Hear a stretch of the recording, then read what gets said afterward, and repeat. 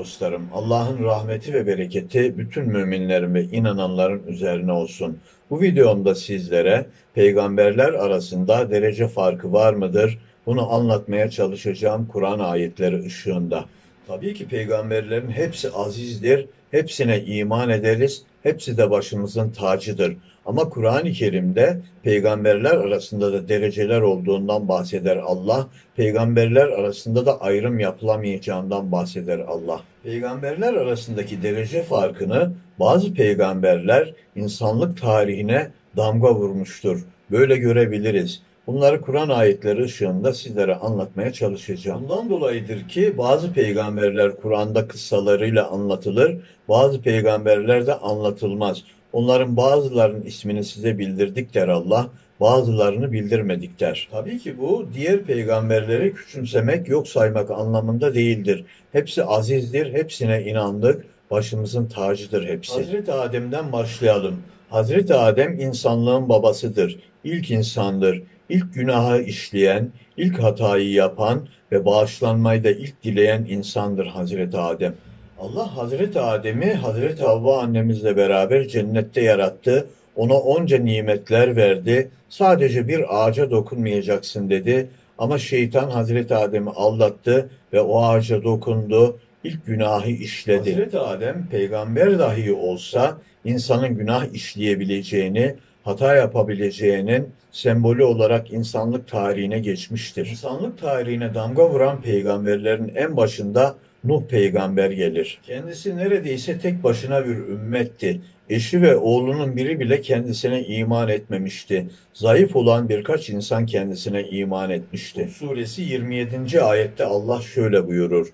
Kavminin ileri gelen inkarcıları biz seni sadece bizim gibi bir beşer olarak görüyoruz. Sana sığ görüşlü ayak takımımızdan başkasının uyduğunu görmüyoruz. Sizin bize karşı bir üstünlüğünüzü de kabul etmiyoruz. Bilakis sizleri yalancılar olarak görüyoruz dediler. Bu peygambere inanan o kadar az insan vardı ki bu insanların da büyük çoğunluğu güçsüz insanlardı. Buna rağmen davasından asla taviz vermedi. Nuh peygamber insanlığın ikinci babası olarak tarihe geçmiştir. Peygamberlerin de onun soyundan geldiği ayetle sabittir. İnsanlığın ve peygamberlerin Nuh peygamberin soyundan geldiğini, zaten Nuh peygamberin gemisine çok az insan aldığını, hayvan çeşitleri aldığını Kur'an ayetlerinden görebiliriz. Davut peygambere Allah dağları, kuşları ve demiri onun emrine verdik demiştir. Davut peygamber aynı zamanda da kraldır. Bakara suresi 285. ayette Allah şöyle buyurur.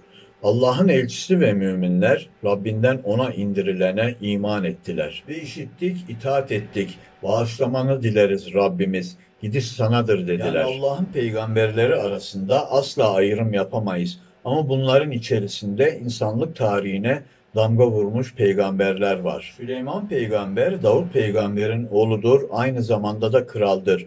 Onun emrine hayvanları, cinleri, ve rüzgarları vermiştir Allah. Süleyman peygamber bir yere gitmek istediği zaman anında gidebiliyordu. Dalgıç cinlerin ve şeytanların Süleyman peygamberin emrinde olduğu Kur'an ayetlerinde anlatılır. Çok kudretli bir peygamberdir Süleyman peygamber. Süleyman peygamber aynı zamanda hayvanlarla da konuşabiliyordu. Salih peygamber ve Hud peygamber kavimlerinin onlara itaat etmeyip helak edildiğinden bahseder Kur'an-ı Kerim'de.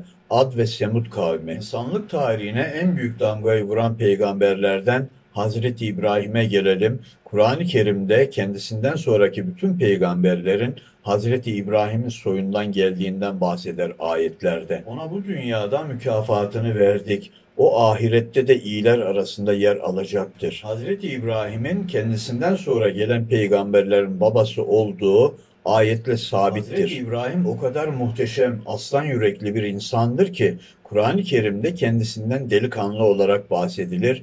Yani en fazla 20 ile 25 yaş arası belki daha küçük bir insandı. Koskoca müşrik kavmine kafa tutmuştur. Enbiya suresi 21. ayette Allah şöyle buyurur. İbrahim o halde Allah'ı bırakıp size ne fayda ne de zarar verebilecek olan putlara mı tapıyorsunuz? Size de Allah'ı bırakıp taptıklarınıza da yazıklar olsun. aklınızı kullanmıyor musunuz dedi. İbrahim peygamber öyle aslan yürekli bir insandı ki koca kavmine tek başına kafa tuttu. Kur'an-ı Kerim'de Allah İbrahim peygamberden bahsederken o tek başına bir ümmetti Musa der. Aleyhisselam'ın olayı da bambaşkadır. Firavun İsrailoğullarının bütün erkek çocuklarının öldürülmesi emrini verir. Musa peygamberin annesi de onu bebekken nehre bırakır Firavun'un karısı alır ve Firavun büyütür Musa Aleyhisselam'ı. tarihinin en büyük diktatörlerinden ve en güçlü diktatörlerinden biri olan Firavun kendi düşmanını kendisi büyütmüştür. Bu da Allah'ın hikmetidir. Ve Musa Aleyhisselam büyüdükten sonra Firavun'a hayatı zindan eder. Hz. Musa'ya olağanüstü mucizeler verir Allah. Büyücülerle baş etmesi için mucizeler verir. Kardeşi Harun'u ona yardımcı olması için Allah peygamber olarak onun yanına yardımcı gönderir. Allah Hazreti Musa'yı görevlendirir. Firavun çok azdı, belki kalbi yumuşar diye ona tebliğde bulun dedi Hazreti Musa'ya. Firavun'un cevabı daha kendi meramını bile anlatamayan şu adama mı ben iman edecekmişim der. Hazreti Musa kekemedir aynı zamanda. Bazı din adamları Hazreti Musa'ya sanki hakaret olurmuş gibi pelteklik vardır der. Ama bu ayet çok açık bir şekilde Hazreti Musa'nın kekeme yani konuşmakta zorlanan bir insan olduğunu söyler. Tabii ki bunu söylemek Hazreti Musa'ya hakaret değil. Bunu Kur'an ayetinde Allah söylüyor. Hazreti Musa Firavun'u da büyücülerini de tarumar eder, büyücüleri de Allah'a iman ederler. Ve sonunda peşlerinden gitmeye karar verir Firavun. Hepsini öldürmek için Kızıldeniz'de Allah Firavun'u boğar. Ve Kur'an-ı Kerim'de Firavun'un cesedini ibret olsun diye insanlara bırakacağız diye Allah ayette açıklar. Bugün Londra'da British Museum'da sergilenmektedir Firavun'un cesedi. Hazreti İsa'ya gelelim. Hazreti İsa'nın dünyaya gelişi de gidişi de olağanüstüdür. Bazı beyinsizler Hazreti İsa'nın geleceğinden bahseder, gidişi çünkü olağanüstü olmuştur. Sanki Hazreti İsa'nın gelişi çok normal şartlarda olmuş gibi. Hazreti İsa'nın dünyaya gelişine akıl erdiremeyen insanlara Kur'an-ı Kerim'de Allah Hazreti Adem'in gelişi gibi olduğundan bahseder Hazreti İsa'nın doğumunun.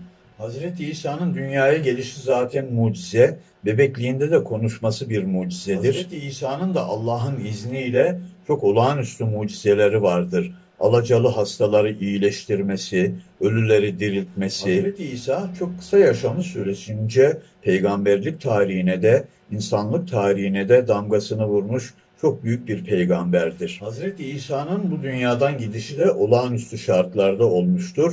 Allah Kur'an-ı Kerim'de Hazreti İsa'yı onlar asla öldürmediler. Biz onu kendi katımıza aldık, onlara öyle gösterildi der.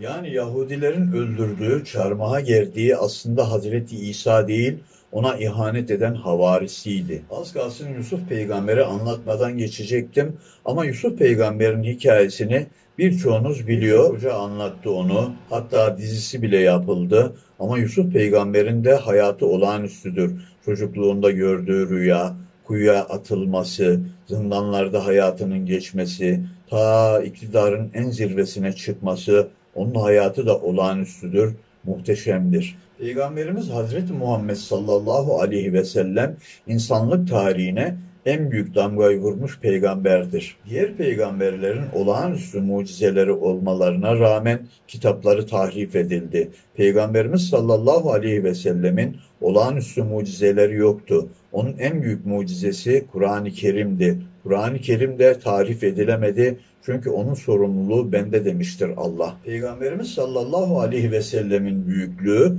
sıfır noktasından başlaması, 3-5 tane kendisine iman eden gençten başka etrafında hiç kimse olmamasıyla başlayan olayıdır. Peygamberimiz sallallahu aleyhi ve selleme büyük makam ve mevkiler teklif edilmesi, onun öldürülmeye çalışılması, hatta vatanından sürülmesi, onun sonrasında bir İslam devleti kurması, sonunda Mekke'yi fethetmesi, büyük bir İslam devletine dönüşmesi, hayatının en zirvesindeyken en mütevazi hayatı yaşamasıyla insanlık tarihine en büyük damgayı vuran Peygamberimiz sallallahu aleyhi ve sellem'dir. Videomun başında da dediğim gibi peygamberlerin hepsi azizdir, hepsi başımızın tacıdır, hepsine iman ederiz. Ama peygamberlerin aralarında da dereceler vardır. Bu peygamberleri birbiriyle yarıştırmamızı gerektirecek bir durum değildir. Kur'an-ı Kerim'de dediğim gibi Allah peygamberlerin aralarında derecelerde olduğunu söylüyor. Benim peygamberlerimi birbiriyle yarıştırmayın da diyor. Allah'ın rahmeti ve bereketi bütün müminlerin ve inananların üzerine olsun. Videomu beğendiyseniz lütfen kanalıma abone olunuz. Hoşça kalın dostlarım.